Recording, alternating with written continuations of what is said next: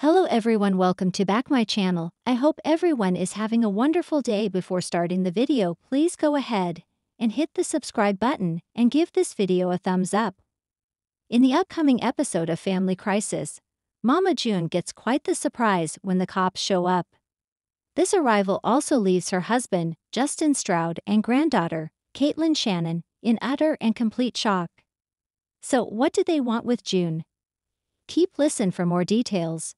In last week's episode of Family Crisis, the family said goodbye to Anna Cardwell.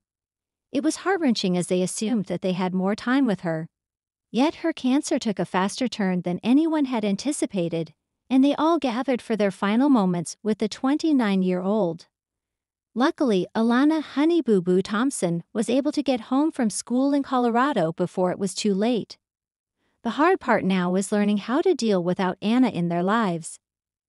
Admittedly, Josh Efird is worried about his wife, Lauren Pumpkin Efird, and if she can ever come back from the trauma. In a clip from the Friday, July 5, 2024 episode, Mama June, Justin Stroud, and Kaitlyn Shannon are all eating. Then there is a knock on the door, and it is the police. Immediately, June does not want to deal with it while Kaitlyn and Justin are completely stunned. She asks Justin what he did, but he keeps telling June to open the door and see what they want as they have both had issues with the law. She seemingly would rather keep eating, but he is adamant that she get the door. June learns that she has been served and she challenges the officer about what. He cannot tell her despite her pressing him and he leaves. She opens up the papers and immediately laughs. Obviously, Mama June had previously told her daughter, Alana Honey Boo Boo Thompson, to take her to court over the money she had stolen from her. Therefore, it could be related to that, but viewers already know exactly why she was served before tonight's episode. Viewers saw this clip and immediately chimed in with why Mama June was served.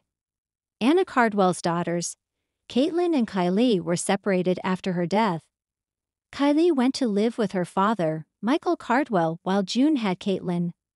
Michael wanted the girls to stay together and claimed he took care of Kaitlyn, therefore, he decided to fight for custody. That appears to be what the paperwork was about. Of course, there were some who believed it had to do with Alana's missing money.